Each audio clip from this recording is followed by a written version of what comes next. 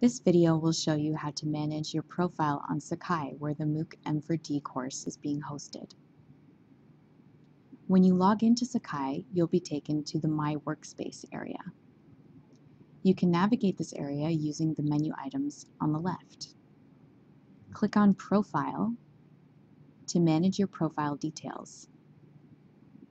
You can edit your contact information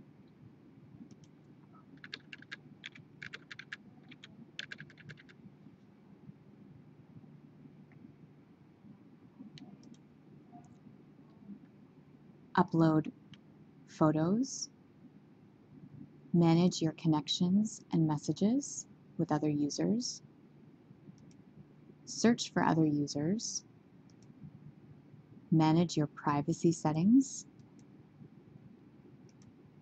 and set other preferences, such as notifications.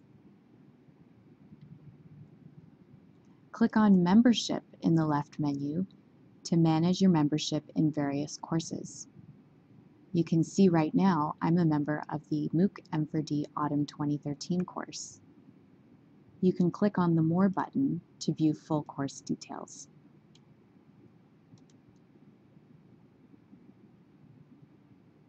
You can also click on the Schedule and Announcement items in the left menu to view the schedule and announcements for all of the courses that you're enrolled in. Preferences area is another place where you can manage notifications as well as the time zone and language that you prefer.